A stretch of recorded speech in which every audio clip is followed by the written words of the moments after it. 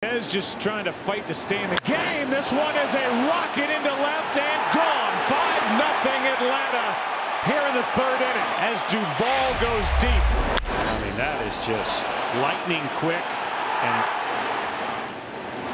I'm going to say that got out of here faster than most home runs hit here.